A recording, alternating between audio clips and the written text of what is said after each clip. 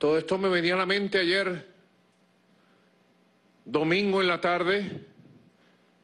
cuando fuimos sorprendidos por las imágenes que nos traían desde Brasil en vivo y directo Telesur. Y nos mostraban precisamente la cara verdadera de la extrema derecha proimperialista,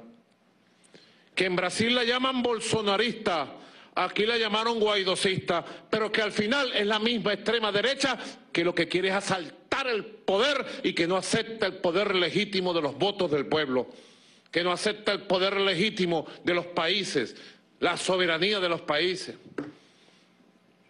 Nosotros desde aquí, desde este acto solemne de notificación del inicio del año legislativo por parte de la Asamblea Nacional, enviamos todo nuestro apoyo al presidente de Brasil, Luis Ignacio Lula da Silva, a la democracia brasilera y repudiamos el asalto a las instituciones públicas por parte de los grupos neonazis, neofascistas del bolsonarismo, que pudiera llamarse también guaidosismo. No importa qué país sea, bolsonarismo, guaidosismo o como le ponga al final, es la extrema derecha proimperialista que pretende cortarle las manos al pueblo y que no se inicien procesos de cambio necesarios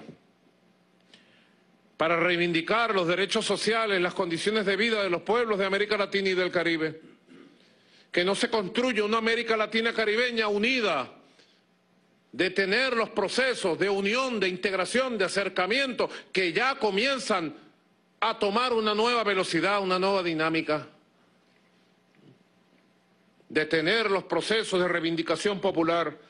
detener los procesos de unión de América Latina y del Caribe. Ese es el objetivo del asalto al poder en Brasil,